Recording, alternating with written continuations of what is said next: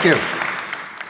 I can see that some of you are old enough to remember the old General Electric motto, better living through electricity. I'm going to adapt that motto to my own purposes for this talk. Better brain health through electricity.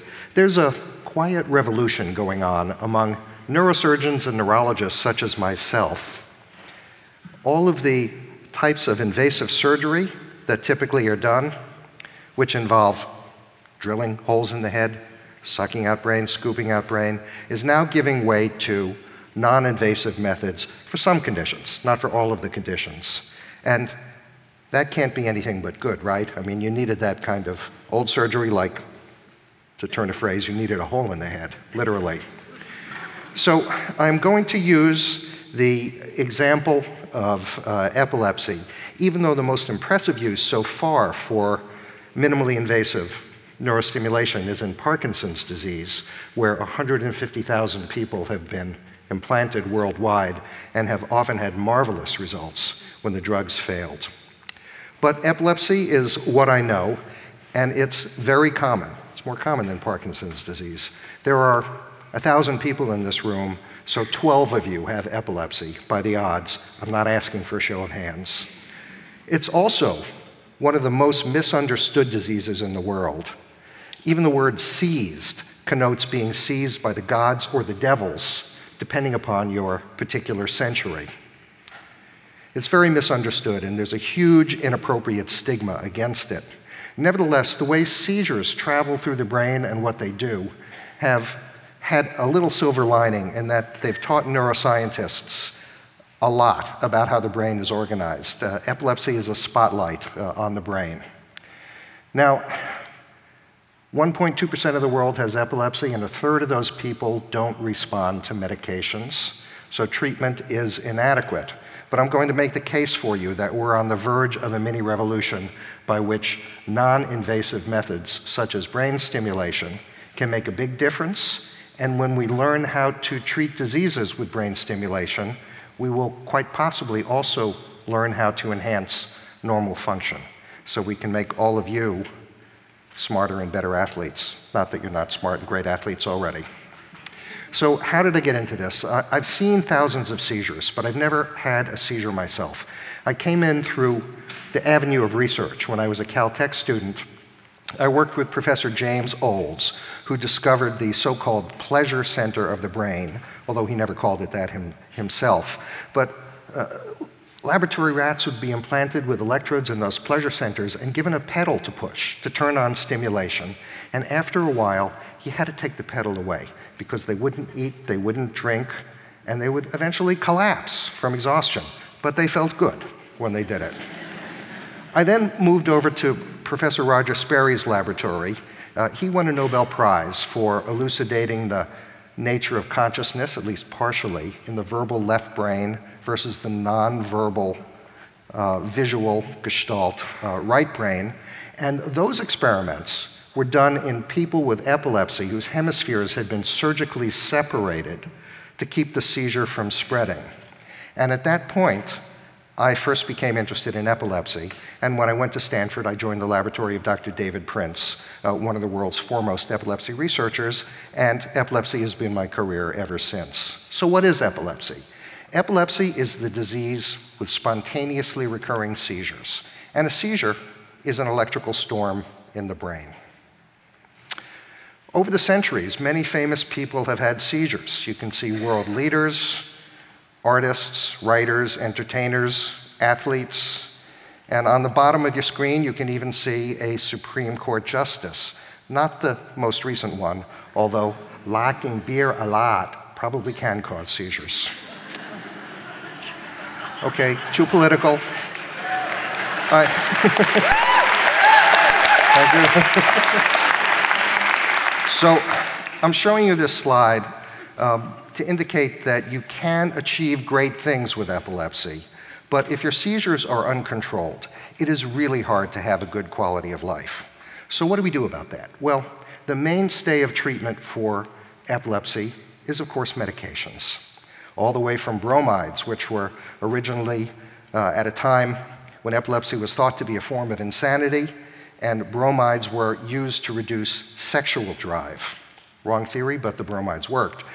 We now have 26 medications in the US and a 27th, the newest one, uh, just approved by the FDA and the DEA, uh, which is cannabidiol, the marijuana extract. It's going to be a very helpful drug, I think, although not the magic bullet we're looking for.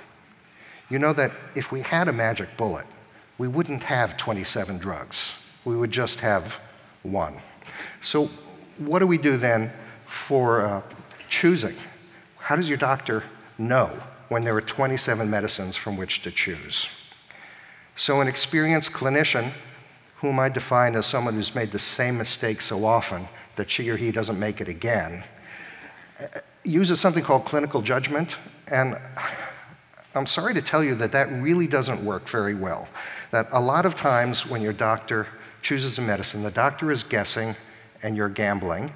And if you have epilepsy or another disease, uh, you pay the price in terms of lack of effectiveness and side effects. There's a big change that's happening in medicine now, and you've heard about it today in some of the other parts of the conference. That's the use of machine intelligence or artificial intelligence in order to help make better decisions. We could, in theory, put in your genome, all of the enzymes in your system, all of your past medical history, your response to prior drugs, and somewhere in there, in those thousands of pieces of information, would be the best guess for what the best medicine is for you. But it's too much for a human mind to comprehend, particularly the interactions. Yet that is where a computer with deep learning, properly trained, can really make an enormous difference. And with the hosts of our conference today, uh, we're engaging in a uh, project to start that, to see if machines can choose the best seizure medication. It, it's my hope as a little bit of an old guard sort of person that the machines will end up being a great assistant to the physician rather than a replacement for the physician. But time will tell. So, this is what's wrong with medicines. They don't work for a third of the people, they're inconvenient, and you may forget them. They have lots of side effects, they can cause birth defects, and they're expensive. For some people with epilepsy, surgery is an option, but it's a minority. It's for people who have seizures from a well localized place that's safe to remove. And even some of those people don't want us cutting on the uh, brain. So, what is the alternative then? Well, Fortunately, we live in an age of technology. If you come to the Stanford Epilepsy Center today for a temporal lobectomy, the most common type of surgery for epilepsy, chances are instead of doing drill and suck and cut, uh, we're going to make a very small hole in the back of your head, pass a thin laser fiber under direct MRI vision, and burn out the small area of brain we want to remove sending you home the next day. We probably could do it the same day, but we're afraid to do that. Focused ultrasound is even less invasive.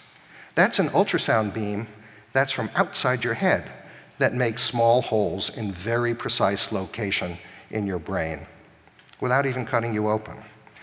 It's approved, uh, and we use it for treatment of tremor, someday for epilepsy, I think. We can deliver light pulses to brain by fiber optics that will either excite or inhibit neural circuits depending upon the color of light that we use. We can control the brain activity moment to moment. I'm participating uh, in design of a trial in Australia with my colleague Dr. Mark Cook to infuse drugs into the fluid channels of the brain, where we can achieve 10 times the concentration that you can get with a pill without much more in the way of side effects. And the preliminary results are quite exciting. There is a device, not yet available, but tested and published to predict seizures. And how different would your epilepsy be? How much better if you had a radio pager on your belt that said, You're going to have a seizure in 45 minutes. Please pull the Tesla over to the side of the road and take a pill. It would reduce, reduce the uncertainty of seizures, which is one of the worst parts. So, this, this uh, is reality, and I hope will become available soon. As an aside, I have to mention that every time I talk about seizure prediction, I'm asked about seizure predicting dogs, and my answer is maybe, but I'm pretty sure that cats can predict seizures, but just don't tell us. Why should they bother? So, the last block on the slide is neurostimulation, which, um, after all this meandering, is the focus of my, uh, my talk. The first neurostimulation was the vagus nerve in the neck. This has been going on for about 15 years now. The vagus nerve is part of the parasympathetic system, which controls heart rate, digestion, secretions in the lungs, goes all over the body. I suppose you could say what happens in Vegas doesn't stay in Vegas. but some of it uh, spreads up to the brainstem and makes the electrical activity of brainstem um, much, it makes it much harder for a seizure to originate. Uh, so over time, there's about a 50% improvement in, in seizures. But our thinking is that we could get even more efficacy if we put electrical stimulation to counteract the seizures directly into the brain centers involved with or connected to the seizures. So that was the next uh, advance, something called deep brain stimulation. This is the same um, type of stimulation and, in fact, the same equipment that I mentioned for Parkinson's disease before, just put in a different uh, place of the brain. Uh, the stimulating electrodes are in the head and the wires are tunneled behind the ear, all under the skin. You can't have anything protruding or it would be infected. It goes to a, a pacemaker on the uh, chest, which is about the size of a cigarette lighter, and has batteries that last about five years, and then the device needs to be replaced. If it doesn't work, it can be taken out, but no brain is taken out. So that's an advantage over conventional epilepsy surgery. This is an example of uh, someone who's a neurosurgeon and really quite a neuroshowman, Professor Jose Delgado, a neurosurgeon uh, at Yale, with one of the first public uh, displays of deep brain stimulation. He implanted a, a DBS electrode in the motor control centers of a bull, controlled by a radio paddle. He then went into the arena until the bull charged him, and you can see that I protected the privacy of the bull according to the medical requirements charged him, and he pushed the button on the radio transmitter, which caused this very confused bull to start going in very fast, very uh, tight circles instead of uh, charging. And in the beginning, there was not much science behind deep brain stimulation, and therefore, this was not the only time that DBS was associated with uh, a lot of bull. But uh, we've, we've in the ensuing, we've in the ensuing 50 years, done a lot of scientific experimentation. We've got it on a much firmer footing, and I think uh, there's something, uh, something very much to it now. Uh, this is the uh, pioneer for epilepsy, Irving Cooper. I think he looks like George Bush, except better looking. and uh, Marcos and Francisco brothers, one a neurologist, one a neurosurgeon in Mexico City. They did the early pilot studies. Um, I kind of took over in order to do the controlled scientific studies that you really need uh, to decide that you believe that something works. The theory behind it was stimulating a pacemaker area in the brain that has widespread connections, something we would call the node of a neural network. And through work in my laboratory and others, we found that the anterior nucleus of thalamus, had good connections to the frontal lobe and the temporal lobe, which are the two lobes most involved in seizures. Here's an experiment from my lab showing all those up and down black spikes, which are epileptic discharges in a rat brain, and stimulation of the anterior thalamus at each point where it says start interrupts the seizure activity. So, based on the laboratory work and the pioneering work of Cooper and the Velascos, we decided to go ahead and do a uh, randomized placebo controlled experiment. And let me just make a pitch here as a clinical researcher. Um, in the beginning, you do pilot experiments and you just shake the things out so you know the right parameters to stimulate and get some sense of whether there's any efficacy and safety. But if you're serious about any medical procedure, you need to insert a placebo group you need to randomize the patients. Uh, and most of the medical literature does not do this, and therefore a great deal, take it from me, an external editor, most of the medical literature is junk. A little scary that we base so much on junk, but we're getting better about it. It shows implantation of the electrodes in the thalamus, and in the middle panel you see the two of the wires in brain, and then in cross section the two little black dots at the yellow arrow. Those are the targets of the anterior thalamus. This uh, somewhat busy slide is a summary of the randomized clinical trial that we did. Down is better. It means less seizures. You can see the dotted red line on top is placebo with an average 14.5% improvement after three months of double blinded treatment compared to 40.5% improvement in the group that had 5 volt stimulation in the thalamus. And that was uh, statistically significant enough to convince the FDA to uh, approve the uh, treatment just recently. In the box is the time when we turned on the stimulator for those who were on placebo stimulation because we did not think it was ethical to put wires in people's heads and then give them nothing. And when we turned the stimulator on, even though they didn't know whether it had been on or off before, they went uh, down to the efficacy level of the other group. And it continued to improve. We think that there's changes in the brain that happen over a period of time here beneficially, such that by about two, three, four years, uh, you're on the average down to one third the number of seizures you had before, and 15% of them were seizure free for at least six months. Not too bad because they were having 20 seizures a month at the start. And then came the next advance, the next wrinkle. This method stimulates for one minute and it rests for five minutes, then it stimulates for one minute again on a clock cycle. Wouldn't it be even better if we stimulated when seizures occurred?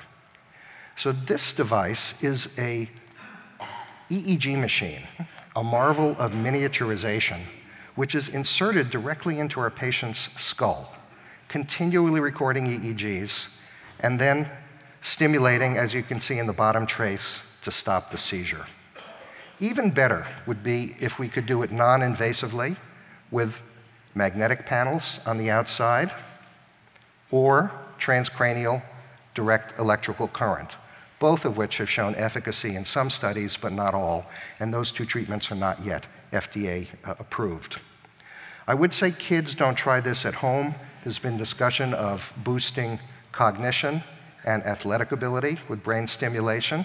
I think we possibly will be able to do that, but it's your brain you're fooling with. Do it in a medical environment. I close with mention of Terminal Man, Michael Crichton, 1972, a prophetic book about brain stimulation. And my conclusions. Epilepsy is a brain disease, not a mystical vision. It's common.